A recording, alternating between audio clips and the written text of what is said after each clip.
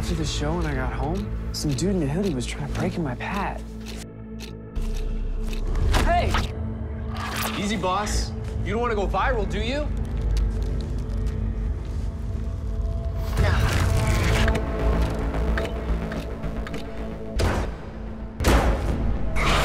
He whooped your ass, didn't he? Hey, hey, I'm real. I do know a guy who wears a hoodie like that, and from my school. His name is Dutch. But the only thing is, he's dead. She was singing. You were dreaming. No, I heard her. It's not a song. It's a Jisei no ku, a farewell poem. Normally, they're very beautiful. It's someone saying goodbye to the world. But this one is different. It's about hatred and resentment.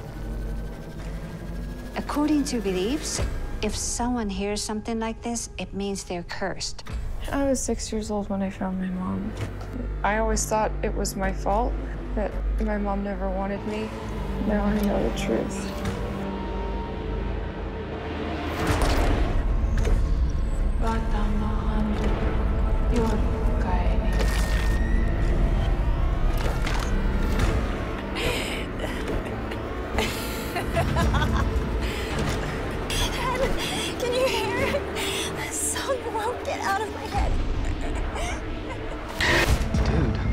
Did you get that?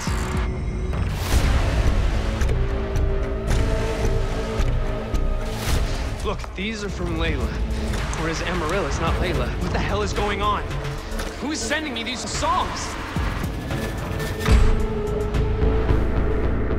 Andy, is it you? What did she say? She said, we have to protect you. Uh, protect me from what? I don't know. Bashira is an old story. It's just a myth. No, it is very real. Well, there's got to be a way to stop it.